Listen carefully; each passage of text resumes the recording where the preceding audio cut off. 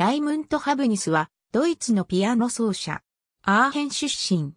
ケルンで、ギュンター・ルートビヒ、ジュネーブで、ルイ・ヒルトブラントの各市にピアノを学ぶ。1975年に、ロンドンでデビューを果たし、1977年には、ベルリンフィルハーモニー管弦楽団と共演を果たす。1986年からフランクフルト音楽、舞台芸術大学のピアノ科教授、ウージンゲンにて没。ショットミュージック。2020年8月21日時点のオリジナルより、アーカイブ。2020年8月21日閲覧。レーマンド・ハボニス。2020年8月21日時点のオリジナルより、アーカイブ。2020年8月21日閲覧。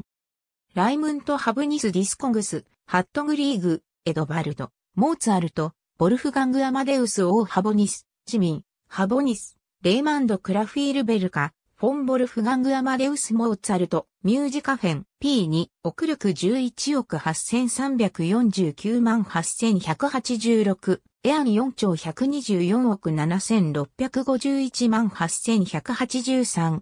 ありがとうございます。